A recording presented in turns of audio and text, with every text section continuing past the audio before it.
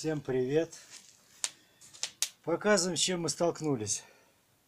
У нас торф, грунт, субстрат. Пришло время переселения червей. Мы приобрели, был вот, использовали мы вот такой грунт. Вот. Отличный грунт, много им пользовались. Все, кончился, нет его в продаже. Приобрели вот этот. На вид такой же, но не такой. И вот я его высыпал. Во-первых, как только открыл мешок, интересный запах у него. Сладкий, как прелыми опилками, что-то такое, загнившего леса. Но я так понял, вот плесень, он просто залежавшийся. Я его высыпал на солнышко. Хорошо взяли два мешка, блин. Сейчас прожарю. Разомну все это. И потом буду делить ящик пополам и смотреть, будет он переходить или нет.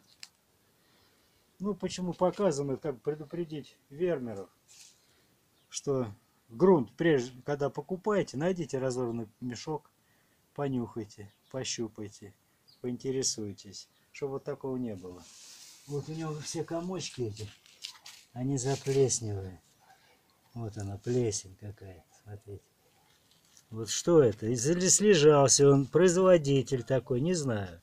Вот будем проверять его. И очень много палок. Вот, вон, посмотри.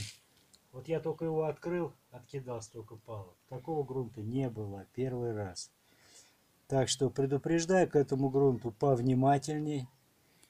Повнимательней. А мы покажем дальнейший эксперимент. Мы его сейчас разровняем, разломаем все это тут на солнце. Выветрится. Потом будем делить на своим способом переселения ящик пополам. Вот, в половинку вот эту раскислим все субстрата. И посмотрим, пойдет ли туда червячок или нет. А вот другим методом, не знаю, может быть и чревато, если его пустить сюда сразу. Вот так. Об этом хотел вам, вот, об этом хотел вам рассказать. Какой-то цвет сизого. Непонятно. Непонятное происхождение, непонятный запах. Все, что хотел сказать. Всем пока, следите за этим экспериментом. Подписывайтесь на канал. Счастья, здоровья, удачи. Пока.